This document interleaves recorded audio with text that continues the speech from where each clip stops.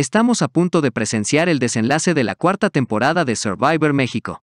Una temporada que fue de menos a más, y finalmente ha llegado el momento de conocer al gran ganador de esta edición. Quien será decidido a través de los votos del público este viernes 25 de agosto.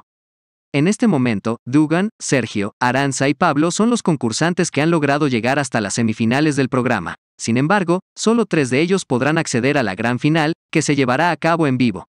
Para asegurar un lugar entre los tres finalistas, los cuatro sobrevivientes restantes de la temporada se enfrentarán a una última prueba para ganar los dos últimos collares de inmunidad de la edición. Los dos concursantes que logren la victoria obtendrán su pase directo a la gran final en vivo, mientras que los dos concursantes que resulten derrotados enfrentarán el último reto de extinción.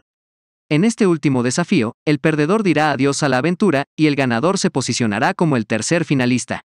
De acuerdo a las filtraciones que circulan en redes sociales, Pablo y Sergio serán los primeros en superar la prueba, asegurando así sus lugares en la gran final.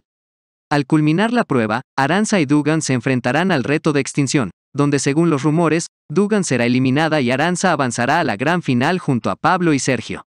Aunque no existen datos oficiales que revelen al ganador de Survivor México 2023, según diversas encuestas en redes sociales, indican que el participante que podría coronarse como el gran ganador de esta cuarta temporada no es otro que Pablo Martí.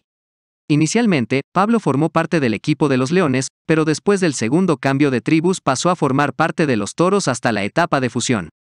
Pablo Martí ostenta el título del primer lugar de la temporada 2021 y ha regresado para defender su corona y convertirse en bicampeón de la marca.